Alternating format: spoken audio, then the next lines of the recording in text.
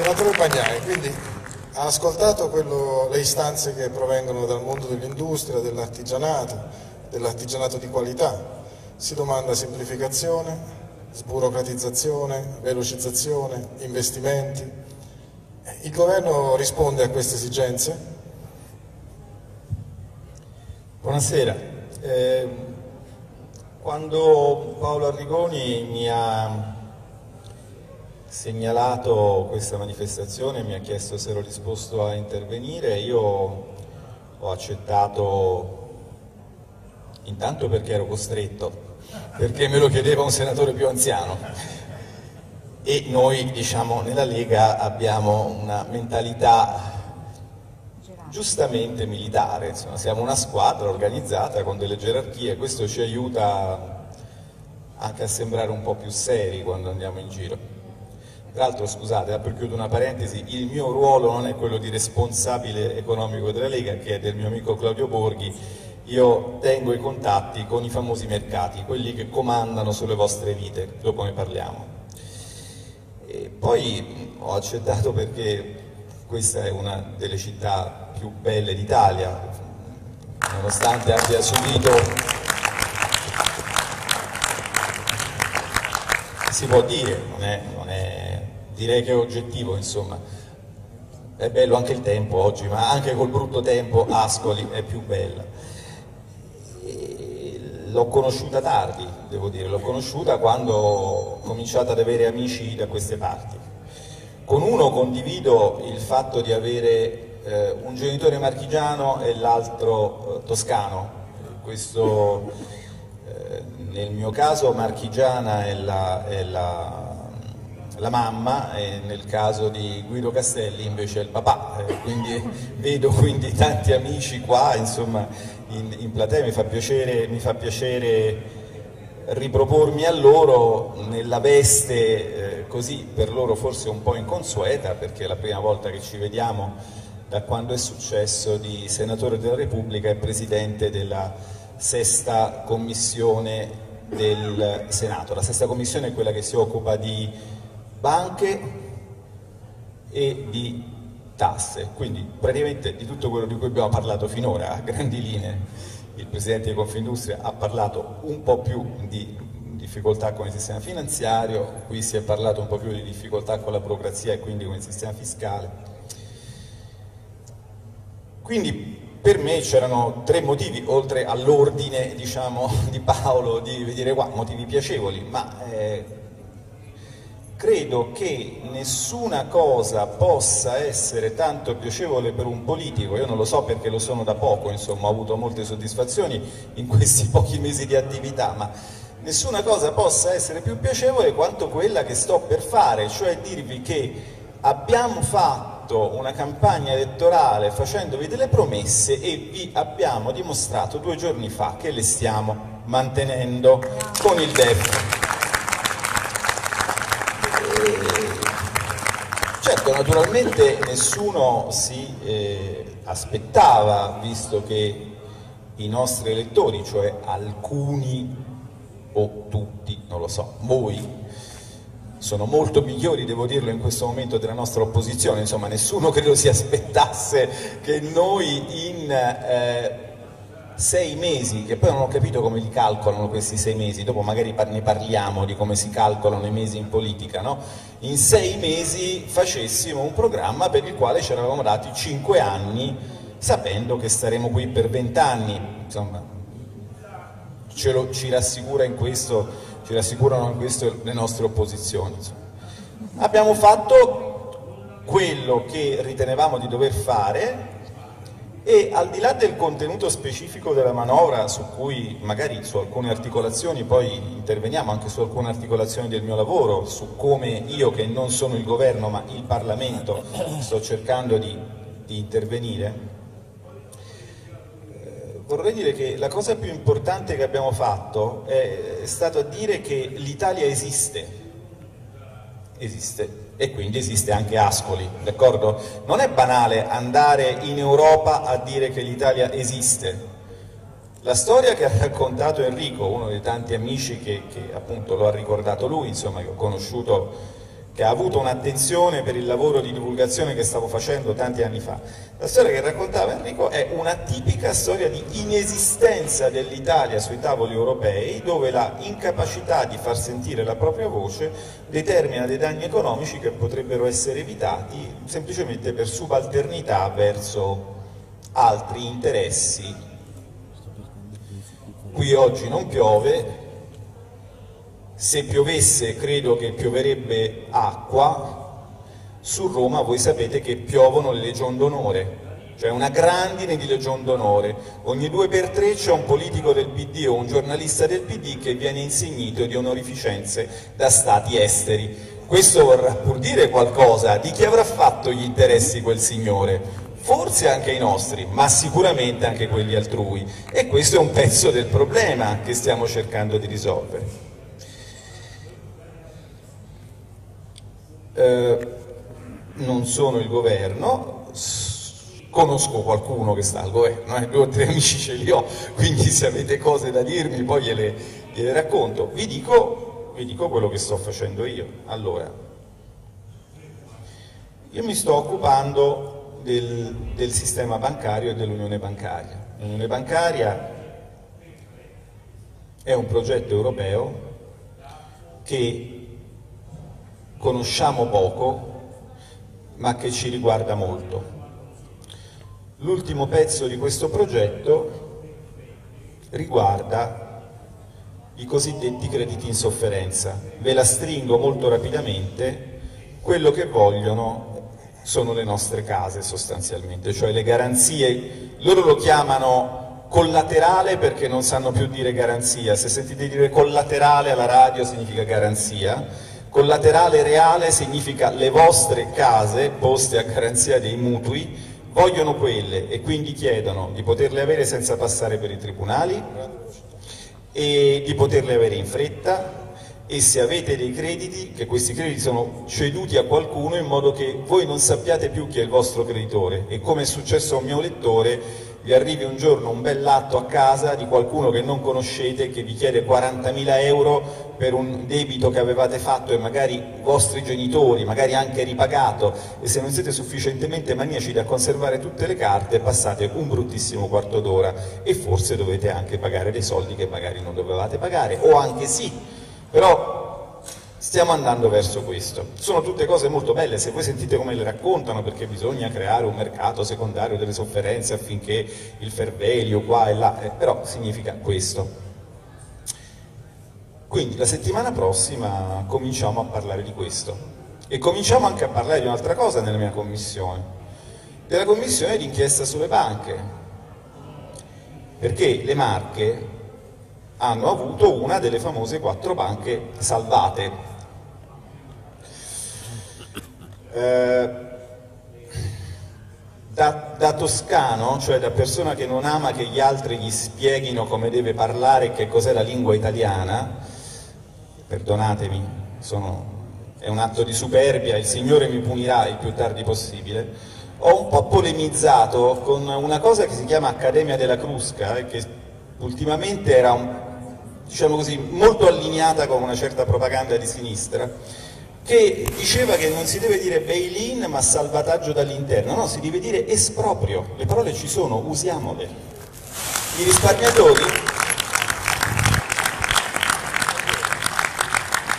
I risparmiatori sono stati espropriati e ora che grazie al sostegno di voi elettori, di alcuni di voi, altri magari no, di amici come Enrico, sto dove sto e mi devono stare a sentire e mi dicono anche delle cose che prima non mi avrebbero detto, dentro al PD le teste pensanti, perché ce ne sono ovunque, quindi perfino nel PD, vengono a dirti che quella è stata una grande scemenza e che lì si sarebbe dovuto dire no all'Europa si sarebbero dovute salvare le banche con i soldi del Fondo Interbancario di tutela dei depositi e si sarebbe dovuto aspettare serenamente la procedura di infrazione che poi avremmo pagato con la nota procedura del Marchese del Grillo ad Aronne Piperno. Non so se ve le ricordate.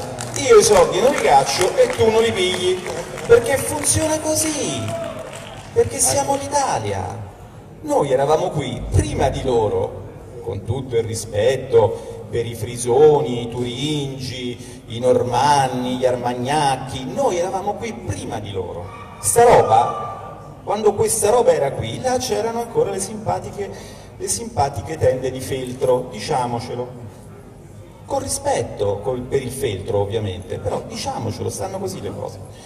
Quindi mi occuperò di questo tipo e faremo una bella commissione di inchiesta che sarà incardinata nella mia commissione per capire come mai sono stati fatti errori di quella portata che hanno distrutto interi territori.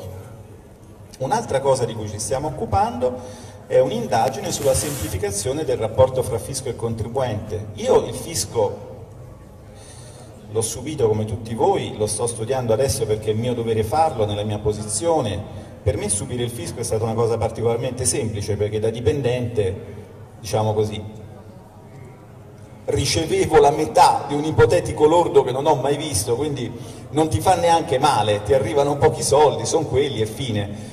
Quando ho capito, cominciando, vedendo l'esperienza intanto di mia moglie che è un'artigiana e poi ricevendo le mille sollecitazioni dal territorio e anche dalle associazioni di categoria, anche dagli stessi consulenti, dai commercialisti, quando ho capito che, che, che inferno è la vita del piccolo imprenditore, e certo là ci siamo posti un problema. Quando vengono criticate alcune proposte di questo governo, come per esempio la flat tax, anche dimenticando che personaggi non esattamente di destra come Vincenzo Visco avevano fatto proposte molto molto simili non più tardi di 17 anni fa, insomma, quindi roba che è ancora in giro. Non si capisce forse una cosa fondamentale, che il primo problema del fisco non è neanche tanto quanti soldi gli diamo allo Stato, cioè a noi, poi vediamo per fare cosa. Il vero problema è quanto è complicato darglieli e quanto è umiliante essere sempre considerati pregiudizialmente dalla parte del torto. Ecco, noi con questo tipo di atteggiamento con questo tipo di atteggiamento vorremmo veramente eh, chiudere. Questo per rispondere a... Senatore, allora una cosa, visto che prima ha parlato di opposizione, no? A noi sembra che l'opposizione adesso a questo governo fondamentalmente in Italia la facciano, la faccia l'informazione.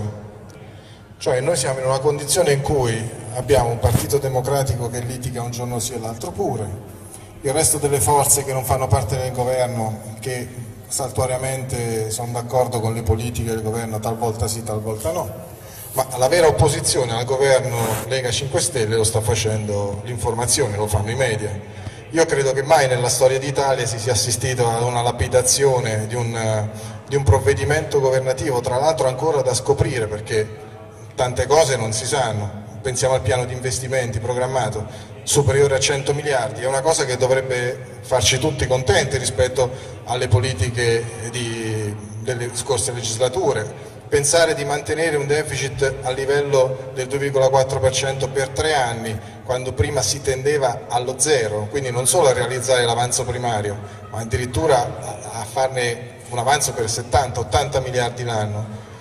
Come si giustifica questa cosa? Vuol dire che allora questa, questa politica che il governo sta facendo è una politica giusta, perché tutti questi nemici schierati in fila, eh, con la baionetta in mano ad impallinare il primo che osa dire che questo provvedimento è giusto, io qui mi sono segnato alcune cose sul DEF, l'eliminazione della clausola di salvaguardia sull'IVA, se noi abbassiamo l'IVA i consumi aumentano, se noi l'alziamo c'è da aspettarsi che diminuiscano, il settore industriale e commerciale ha un problema di consumi, la spesa, noi ancora oggi non abbiamo un livello di spesa paragonabile a quello del livello pre-crisi, una domanda ce la dobbiamo fare, eppure il credito al consumo è aumentato moltissimo, senza quel credito i consumi sarebbero ancora più bassi, quindi ci siamo indebitati per non tornare a quei livelli di consumo. E il consumo dei privati è il reddito, è l'utile per le aziende che poi lo reinvestono, lo distribuiscono. Cioè, ehm, il risparmio degli italiani accennato, 1,5 miliardi stanziati per le famiglie truffate dalle banche, dovrebbe essere un provvedimento che insomma, le persone si dovrebbero alzare in piedi e ringraziare a chi è venuto in mente. Lasciamo perdere poi le pensioni minime a 780 euro dal primo di gennaio, come il reddito di cittadinanza che è un po' più complicato perché prima si devono mettere a posto o cominciare a mettere a posto i centri per l'impiego. Io mi domando, ma quando questi giornalisti presentano così catastroficamente questo provvedimento, attraverso quale lente lo guardano? Beh, ehm un giornalista americano disse una volta una frase famosa, è difficile capire qualcosa se il tuo stipendio dipende dal non capirla. Con questo voglio dire che naturalmente i media hanno e hanno diritto di avere una linea editoriale, però io non vi nasconderò che eh, già quando ero in una posizione di relativa debolezza avendo dalla mia parte non, non, un ruolo ma solo la forza delle idee, non ho mai nascosto a nessuno, chi c'era lo sa, che ritenevo l'assetto eh, dei media, in particolare in questo Paese, un elemento di effettivo pericolo per una reale democrazia, perché il problema è che la democrazia si nutre di consapevolezza e noi veniamo continuamente seppelliti da una serie di, di favole, io con molta umiltà, non interessa, non, è neanche elegante parlare di, di, sé, però io sono diventato senatore e, e sono grato alla stampa italiana di essere quella che è, perché mi ha aiutato a diventare senatore in un modo molto banale, dicendo i numeri veri. Ricorderete perché sta ancora sul Dagospia, se voi ve lo, ve lo cercate, un titolo Dagospia, un economista al Corriere, ricorderete quando intervenendo a Mediaset TG Conf 24 feci rettificare a, al Corriere della Sera un dato errato fornito in prima pagina, il dato sulla disoccupazione. Era un errore? Secondo me no, lo dico proprio francamente, era semplicemente un progetto di distorsione della realtà. Vedete, qui è in atto una strategia abbastanza strana che riguarda il passato e il futuro. Per quel che riguarda il passato vogliono farvi capire che quando gli italiani si autodeterminavano al di fuori del, di una serie di regole su cui si potrebbe discutere, qui era tutto terrorismo, morte e distruzione. In realtà era il periodo nel quale i nostri genitori costruivano le case nelle quali siamo. Quindi insomma Sì, certo, c'era anche il terrorismo, ma c'erano anche i terremoti, però poi le case si ricostruivano, adesso no. Insomma, ecco, mettiamola, mettiamola così. Circa il futuro, io in questi giorni sto veramente trasecolando, cioè questa storia che noi adesso lasceremo un enorme debito ai nostri figli. Allora, vi dico due cose banali. Cosa lasceremo noi ai nostri figli? Noi ai nostri figli non lasceremo il debito di Conte, del quale poi vi parlo, noi una cosa sicuramente la lasciamo ai nostri figli ed è l'austerità di Berlusconi, di Monti di, e dei suoi successori, perché quella ha determinato un buco di oltre 400 miliardi di euro, come certificava il DEF di Padoan due anni fa, tale per cui 15 anni di storia economica di questo paese sono stati persi. Che vuol dire?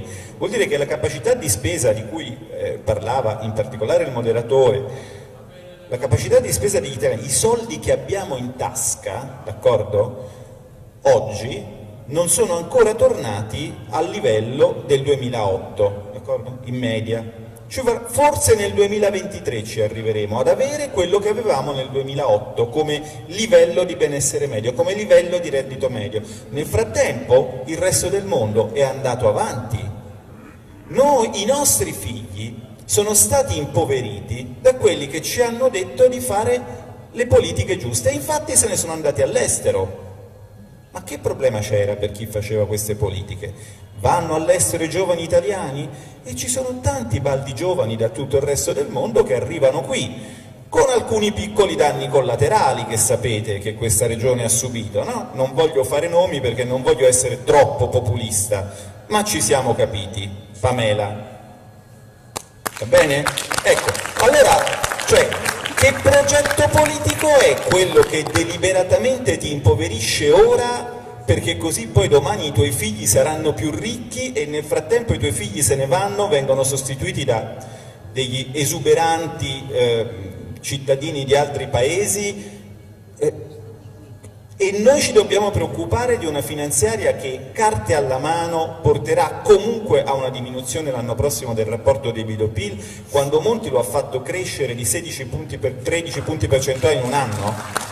Sentite, io sono contento di avere questa opposizione adesso perché così sto tranquillo, mi devo solo preoccupare dello spread che è una roba di cui si occupano persone con cui se ci vai e ci parli, insomma, le cose però spero, oh, io, io, nella mia commissione sto cercando di aiutare, di aiutare il PD, di aiutare le opposizioni, perché il partito unico non è una buona cosa, se questi si vogliono suicidare, d'altra parte lo stesso Prodi, parlando del progetto europeo, disse che nella vita esiste anche l'irrazionalità, nella vita esiste anche il suicidio.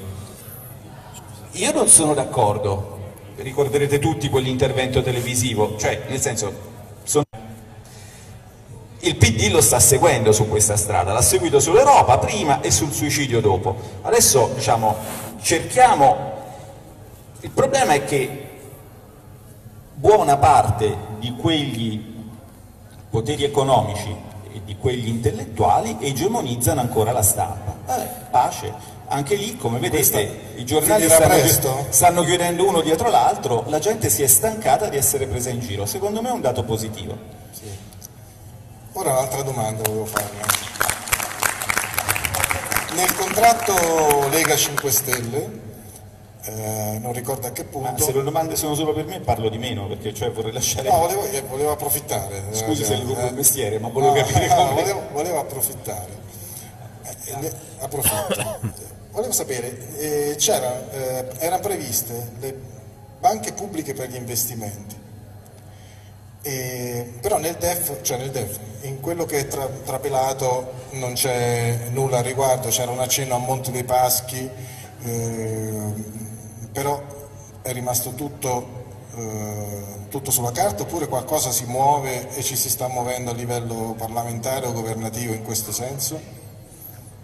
Ma allora, in teoria se succederà qualcosa di concreto dovrò saperlo perché dovrà passare dal mio tavolo. L'idea, sapete qual è? È quella di eh, far svolgere a Cassa Depositi e Prestiti un ruolo più strategico nella difesa degli interessi del Paese per evitare che altri pezzi del nostro sistema industriale vengano svenduti. D'altra parte non c'è praticamente nessun dibattito di politica industriale in Italia in cui Cassa Depositi e Prestiti non venga comunque a un certo punto nominata, adesso bisognerà trovare una strategia credibile e complessiva per capire quali sono i suoi margini di intervento e che tipo di direzione vogliamo dargli. Questo è un un discorso che però esula dal momento attuale. Il momento attuale è quello in cui abbiamo definito la politica economica del governo nei prossimi tre anni, poi naturalmente c'è bisogno di una riforma di tutta una serie di istituzioni di questo Paese e del sistema finanziario in particolare. Ho fatto questa domanda perché riagganciandomi a quello che, di cui parla l'informazione e i media in genere, sono stati bruciati 35 miliardi, eh, questo è un debito che finirà sulle spalle dei figli, lo, sp lo spread. Cioè una banca pubblica potrebbe anche servire come prestatore di ultima istanza nel caso... Ah, ci sono mille uno dettagli tecnici con i quali potrei annoiarvi fino a questa notte, a partire dal meccanismo di, di collocamento in asta di titoli di Stato che in Italia è del tutto suicida perché no, colloca tutti i titoli al prezzo, di, al prezzo più caro, cioè, lascia per lo Stato, insomma, ci sono mille una, mille una cose che, che... Anche che... mettere CCT al posto dei BTP. Però per eh, su una cosa vorrei attirare la vostra attenzione perché è abbastanza importante, io provo a farlo con semplicità. A quanto pare eh, dicono che uno Stato diciamo, non, non, non, debba essere come una famiglia. Vabbè. Io non conosco molte persone che abbiano acquistato il proprio appartamento in contanti. Ci siamo? Mm. Allora, se una eh, persona che ha un reddito, non so, un, un 50.000, ma può fare un mutuo per comprarsi un 200.000 di appartamenti, il suo rapporto debito-PIL è del 400%. Quindi se lo Stato fosse come una famiglia, l'Italia che ha solo il 130 starebbe benissimo. Ci siamo? In realtà lo Stato non è come una famiglia, chi vi dice che lo Stato è come una famiglia è un volenteroso, un volenteroso diciamo, dilettante che, o un pericoloso furbo, scansatelo, cambiate canale, guardate cartoni animati che è meglio. Facciamo un esperimento, immaginiamo che sia veramente come dicono quelli che vogliono prenderci per i fondelli e che i conti dello Stato debbano sempre essere in equilibrio. Conti dello Stato sempre in equilibrio significa una cosa molto semplice, che il debito pubblico sarebbe zero. Che meraviglia? Meraviglia? Beh, dipende. Intanto per un investitore in quelle condizioni l'unica possibilità di allocare i risparmi sarebbe comprare titoli privati. Perché? Perché i titoli pubblici non ci sarebbero più.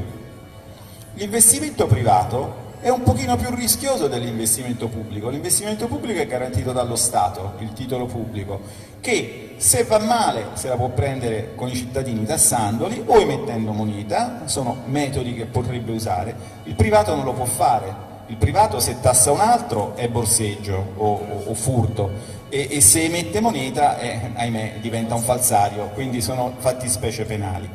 Quindi diciamo che mondo ha in mente questa gente che parla di un bilancio esattamente a zero? Ha in mente un mondo nel quale voi siete costretti a dare tutti i vostri risparmi solo alla finanza privata. È il mondo che volete? È un mondo stabile? È il mondo americano dove se non sei assicurato non puoi non solo essere curato in un ospedale, ma non puoi neanche mandare i figli in una scuola decente e non puoi neanche avere una pensione che poi non hai perché siccome la finanza privata è instabile, tu metti i soldi da parte, li dai a uno, quello salta per aria e tu rimani senza pensione perché lo Stato è brutto e cattivo. Allora, io dico sempre, scusate, eh, se mi volete dire che io dovevo vivere in America essendo nato in Europa, me lo dovevate dire quando avevo 12 anni. Avrei fatto certe cose, a 18 anni avrei subito comprato un'arma, perché lì si può, avrei fatto un certo tipo di piano di risparmio, mi sarei comportato in un certo modo con i miei colleghi, eliminandoli, d'accordo? Perché quello è un mondo molto competitivo, eccetera, eccetera, eccetera. Noi siamo vissuti in un mondo organizzato diversamente, dove c'è uno Stato che garantisce un patto sociale diverso. Quindi chi vi parla di questo mondo a zero deficit e zero debito forse non ha capito esattamente qual è il patto sociale che ci lega dal quale noi desideriamo essere legati. Se poi qualcuno desidera armarsi e fare la guerra di tutti contro tutti, il mondo è pieno. Dalla Somalia agli Stati Uniti il posto è pieno di paradisi del liberismo, ognuno si scelga il suo e ci vada, ma non dica agli italiani cosa devono fare a casa loro.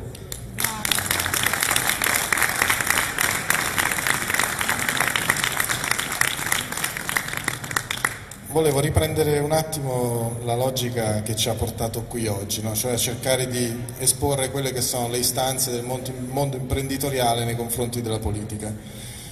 Mondo imprenditoriale che soprattutto nella nostra zona punta molto sul livello delle esportazioni.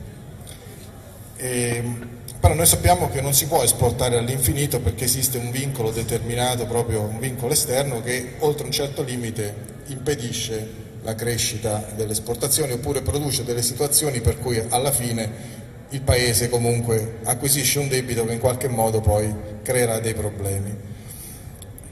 Volevo chiedere al professore, ma è possibile continuare a, a immaginare un mondo nel quale l'unico mezzo per far entrare moneta all'interno di uno Stato è quello legato all'esportazione, cioè come si fa a giustificare un sistema paese dove la quantità di moneta, di denaro che entra è solo quella proveniente dalle esportazioni, con lo Stato che fa due passi indietro e quindi il settore privato necessariamente si trova a dover far fronte a una, a una mancanza strutturale, non per, per, fortuna adesso in qualche modo il DEF per esempio del, del, del governo va in una direzione opposta, ma fino ad oggi è stata eh, questo mantra delle esportazioni, della crescita, dell'internazionalizzazione a tutti i costi esasperata.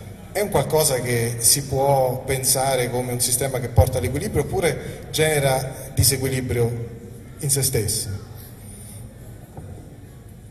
Ma guardate, molto rapidamente, ehm, qui fra l'altro sono fra io conosco Enrico, so cosa fa, non, non, il Presidente non so in che ramo operi ne, nell'agroalimentare.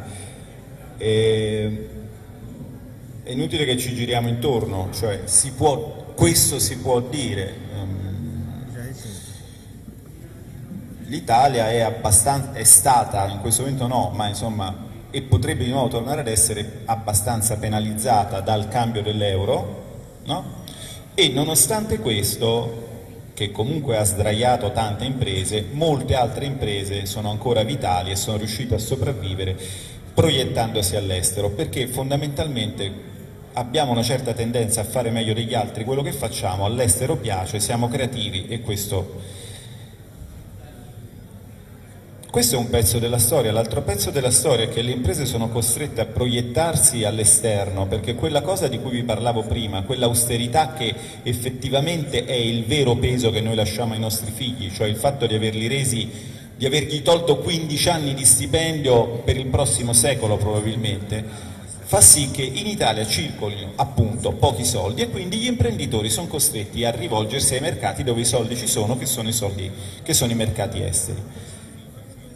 Non c'è nulla che sia giusto totalmente o sbagliato totalmente in economia. Il punto però adesso qual è? È che noi siamo passati negli ultimi 30 anni attraverso una serie di crisi finanziarie, alcune le ricorderete, non so, quella asiatica, la Lehman, eccetera, eccetera. Mai, mai sorte in Italia, sempre sorte all'estero. Se noi articoliamo la nostra economia su la nostra crescita, sui soldi degli altri, cioè sulle esportazioni, sul fatto che gli altri comprino da noi, se gli altri fanno, come regolarmente accade, un gran casino a casa loro, i giornali, io ho detto gran casino, avrei dovuto, avrei dovuto dire crisi finanziaria, scoppio di bolla speculativa, insomma un gran casino sostanzialmente, per cui rimangono senza soldi, noi a ricasco quanto più dipendiamo dalle esportazioni tanto più soffriamo il paese più fragile, e infatti è nel panico, dell'Eurozona in questo momento non è l'Italia, è la Germania, perché la Germania ha un surplus con l'estero del 9% del PIL, dice che bravi i tedeschi, eh sì, però questo significa che loro dipendono quasi interamente dalla domanda degli altri paesi.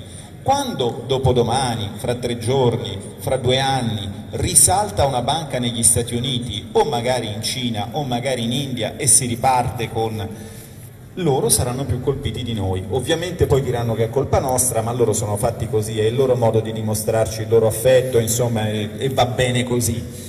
Allora che cosa voglio dire? Che la manovra che è stata fatta da questo governo, attraverso misure come il reddito di cittadinanza in particolare, ha anche un significato di assorbimento di questo tipo di shock, perché rianimando la domanda interna evita questa eccessiva dipendenza dalla domanda estera.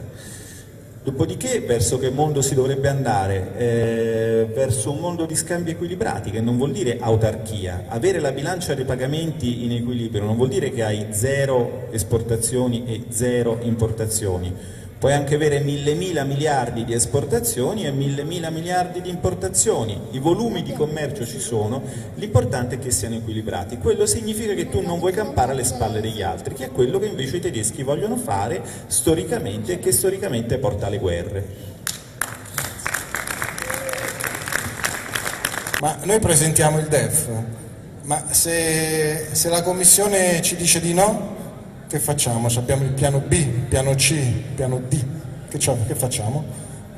Ma, uh, se la Commissione ci dice di no, dà almeno due dimostrazioni del perché il progetto europeo va valutato con un occhio critico, perché intanto se, ci, se dice di no alla prima manovra espansiva dopo tante manovre recessive, di tagli, di aumento dell'IMU, di aumento... dice io non voglio la crescita e voi siete convinti che prima delle elezioni europee la Commissione vorrà fare questo? Peraltro se volete aiutare come io voglio aiutare Enrico nella sua battaglia, ricordatevi delle elezioni europee, perché tutte le carte che ha lui con quell'orrendo bollo blu davanti che passano anche sulla mia di scrivania, tutte quelle carte lì vengono fatte lassù ed è lassù che bisogna anche alterare gli equilibri politici. Seconda cosa è che non ci un, ci darebbe un segnale di grande intelligenza attaccando noi la cosiddetta Europa che poi è l'Unione Europea, che poi è la Germania che egemonizza in grande parte il progetto. Semplicemente perché in questo momento la Germania ha un problema che è quello della Brexit. Gli inglesi sono dei grandi acquirenti di vetture tedesche e la Germania non ha trovato niente di meglio da fare che punirli eh, voi se vi entra qualcuno in azienda o nel vostro negozio non credo che lo pigliate a calci nel sedere, no?